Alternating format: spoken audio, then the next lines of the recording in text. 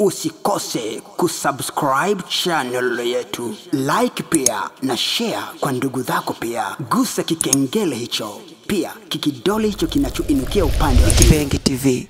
Karibu wapenzi watazamaji wa KTV Aza Kibenge TV, tunapatikana katika Jamhuri ya Kidemokrasia ya Kongo jijini Uvira. Wako wa kila siku, mpenzi mtazamaji, kama unavyofahamu, kila siku ni Amida Kabange ambaye anakuletea tena kipindi hicho hicho, kipindi kipendacho Sauti ya Wanyonge. Ni kipindi ambacho kinakupa fursa, mpenzi mtazamaji, kujua watu ambao wako nyuma yako ni matatizo mangapi ambayo wanayapitia.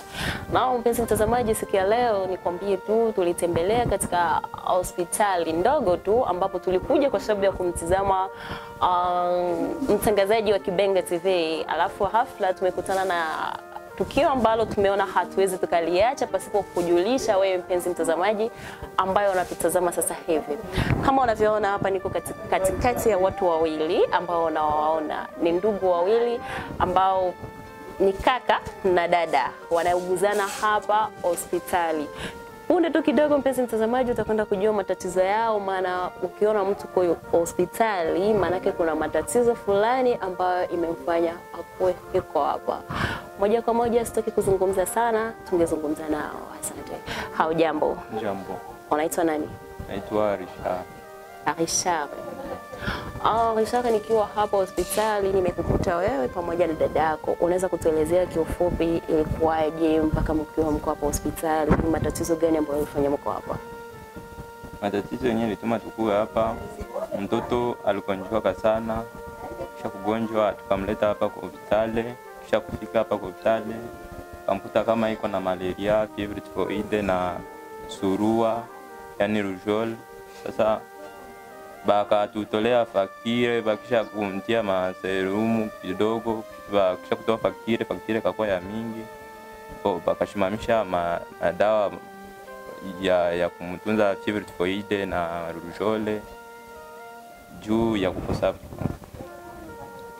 Nao mpenzi mtazamaji wa Kibenge TV, kama unavyosikia, walikuja kwa sababu ya matibabu ya mtoto aliyeumwa malaria tifoide na surua kwa Kiswahili. Uh, inasemekana kuwa mtoto sasa hivi hatunzwi tena, kama unavyoona serumu ambao wanamweka, ina maana wanamweka ni serumu tu ya kinini, alafu vingine vyote wamestop kwa sababu ya kukosewa na pesa. Niambie Richard, kuhusiana kwanza na familia, kwa nini wao uko naye hapa hospitali? Familia iko wapi? familia haiko huku karibu, familia iko mbali, iko kule Ubembe. Sasa ba nikaita wakasema kama haiko kidogo, wakasimamisha kupatia mtoto madawa fulani ya kumtunza rujole na typhoid. Vizuri. Ah, nikitaka ku, ningelitaka kuwajulisha watu wangu ambao wanakutazama sasa hivi kwenye TV yetu Kibenge TV. Ah, wangetaka kujua inakuwaje we we kuishi na dada yako wakati kwanza mke wako mwenyewe kwanza nikikutizama bado kijana na dada yako pia mdogo, inakuwaje ukaishi nao nyinyi wawili? Sisi tulikuja kwa shida ya kusema kama tu- tu- tuko wanafunzi tuko wanasoma, lakini sasa tukapata na shida ya, kupata magonjwa na hakuna mwae ya kusema kama ya kututunzisha, ndo ndo mpaka hivi tuko tu hivi tu. Asante sana. Unaweza kutuambia mnaishi aje hapa hospitali, anakulaje au kupata hicho chakula cha kula wakati mko tu nyinyi wawili mnakipataje? Chakula iko ngumu kupata juu tuko miko niko tu mie na dada yangu, hakuna wakuleta chakula, maanake ni hivyo tu. Wakati anapata wakumpatia chakula nampatia, na wakati hakuna basi ina- inakuwa tu hivi. Na mpenzi mtazamaji wa Kibenge TV, kama unavyojua maisha ya sasa hivi nyumbani ndo hayo tena, haisemeki. Unajua, kwanza kwa sasa hivi kupata, kupata kile ambacho unaweza ukatumia kwa sababu ya kula ni vigumu sana. Mpenzi mtazamaji wa Kibenge TV, inatakiwa kwanza, inatakiwa kwanza, inatakiwa kwanza aji, aji, atumike anakwambia inatakiwa utumike ili ukule. Kwa sasa hivi hapa Uvira kila kitu kinapanda bei, kama unavyojua. Mtu hata kuja tuna chakula chake mwenye hospitali, anajua kinamfaa yeye na mtu wake, alafu baadaye akataka na wao kitumie eko. Uh, Richard, tuambie faktire yote ambao wamekukatia ilikuwa ya pesa ngapi?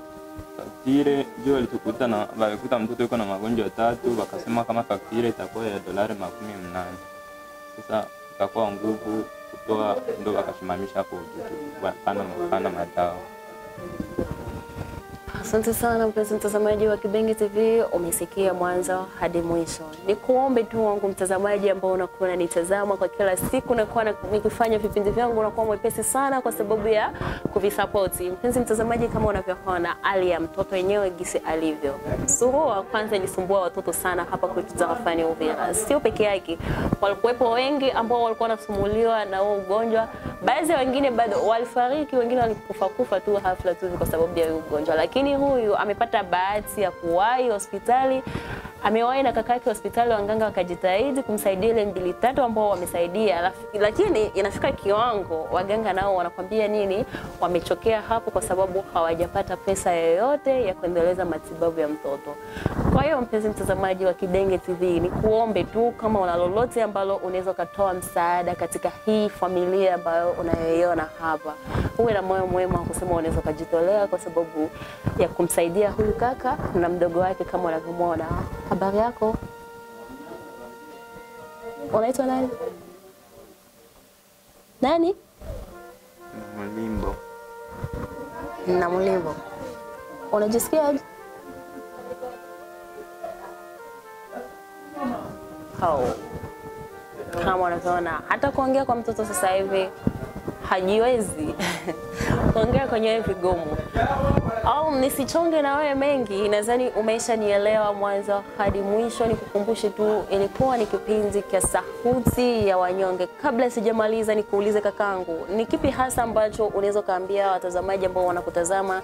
Nini hasa ambao unaweza ukawaambia na nini hasa unaweza ukaomba kwao? Kwa kusema tu watusaidie kama itawezekana, mwa kusaidia tusaidie ma, ma, matunzo iendelee, tupate franka, matunzo iendelee, mtoto aendelee kutibiwa juu hali iko mbaya. Tunaona wewe peke gisi sana sana.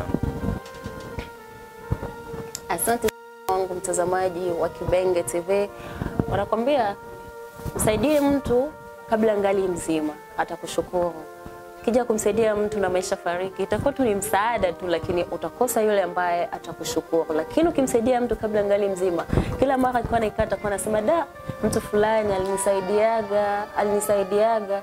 Kwa hiyo wangu mtazamaji, ni kuombe tu kama una msaada yoyote ambao unaweza kusaidia kuhusiana na hii familia, unaweza kawasaidia, maana hawana lolote ambalo wanaweza kujisaidia wenyewe. Kumaliza mwaka ni tunda, tunawateremshia bei ya mashine ya kutotoa vifaranga. Mashine ya kutotoa vifaranga mia mbili makumi sita na ine bei inakuwa dolari mia mbili makumi ine na munane. Mashine ya kutotoa vifaranga mia tano makumi mbili na munane bei inakuwa mia mbili makumi tisa. Mashine ya kutotoa vifaranga elfu moja makumi tano na sita bei inakuwa mia tatu makumi ine na tisa tu. Karibuni basi, harakisha ili mashini yako tupate kukupakizia mbele ya wakati. Mnaweza kututafuta kupitia website kwa namba ambayo mnaiona hapo, ama mkatupigia moja kwa moja katika WhatsApp yetu. Asante, tutafurahi sana kuwahudumia.